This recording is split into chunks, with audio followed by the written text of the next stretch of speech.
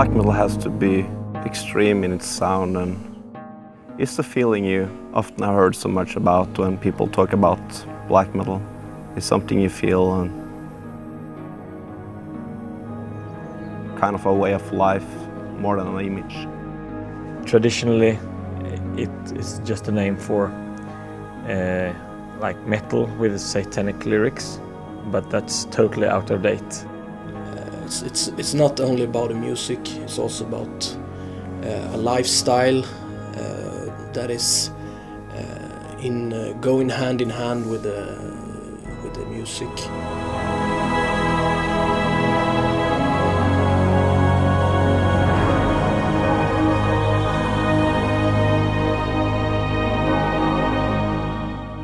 So if black metal is evil, okay, then we play in an evil Christian black metal band.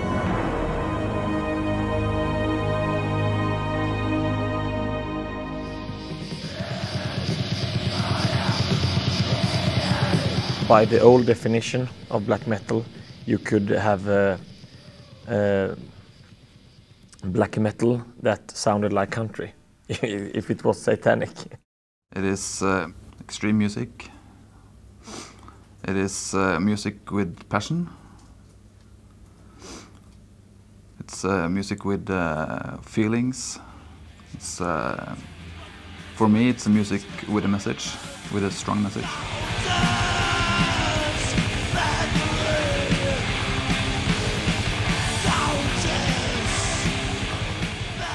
It was uh, um, some guys from England called Venom uh, in the early 80s that they were very much into uh, horror movies and heavy metal music. They they liked uh, Black Sabbath very much, but they they wanted to to make uh, albums with um, satanic imagery on on the covers and. Uh, uh, and all these lyrics about Satan and waging war in the name of Satan and all this. And then the second album was called black metal, so that's where this term comes from.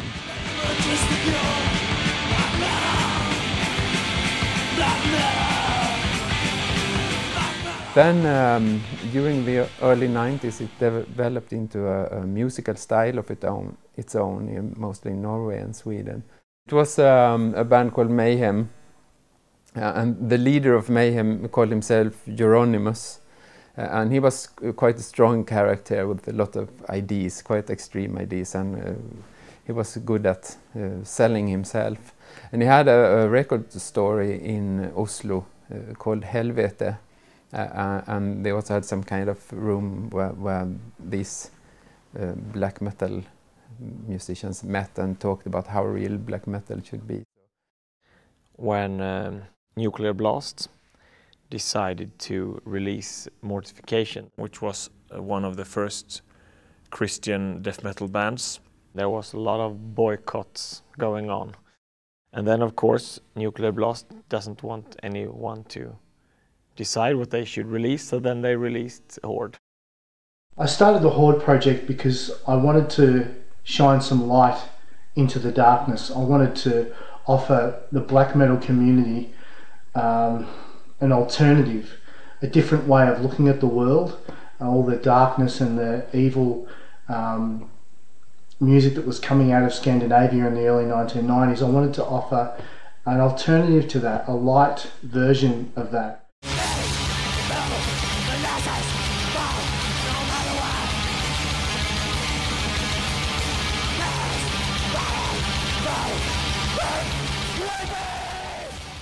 Back in the early 1990s, looking all the way from Australia here over to Scandinavia and Norway and, and those countries, all I saw was black darkness um, in terms of the black metal culture. It was just so heavy and so evil and so oppressive and just so negative. The first Christian black metal that I I got hold of was Horde and Antestor, and I think uh, it was very much thanks to those two bands that the scene really developed. The response from the, community, the black metal community when Hellig Usvart was released was quite negative. Um, the black metal community certainly were, were pretty upset about it, pretty angry about it. Uh, there were some death threats and uh, some people were quite upset about it. The Christian people were quite excited about it. They uh, had the opportunity to listen to something new and something different and something they hadn't been exposed to before. It was never really intended for that purpose. It was more to shine some light into the darkness, as I said earlier, and to get a positive message out into the black metal community.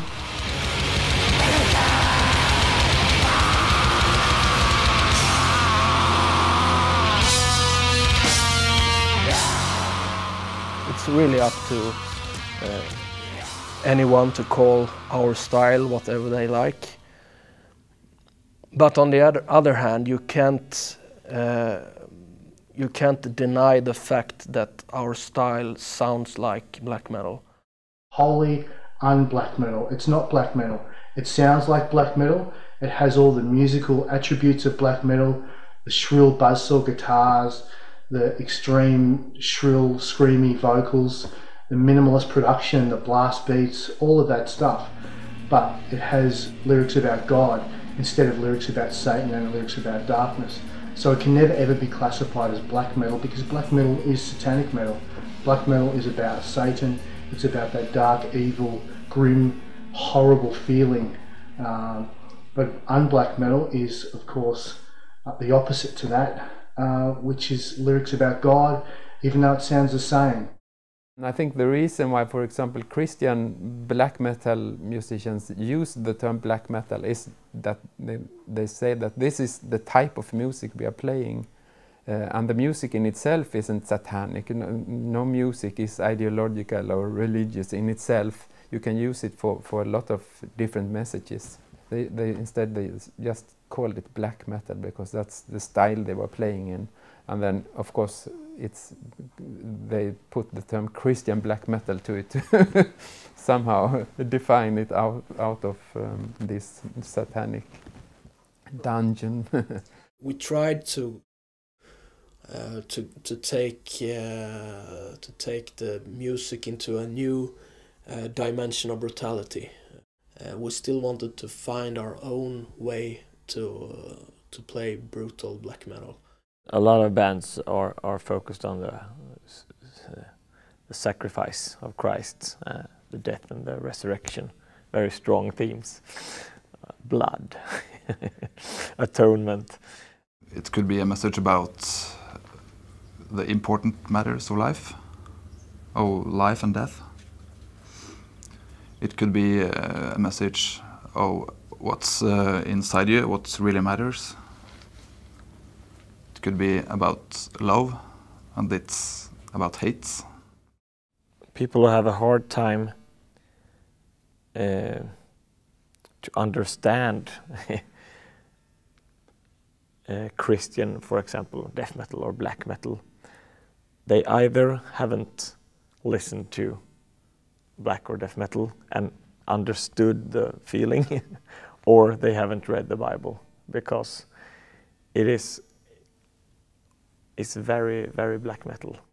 Satanists who, who uh, or secular people, whatever, who, who uh, cannot understand the connection between the the biblical or the Christian messages and really grim metal music. They have probably, uh, well, another view of Christianity than I have. or and Christian people who, who can't understand, they, they, they just don't understand.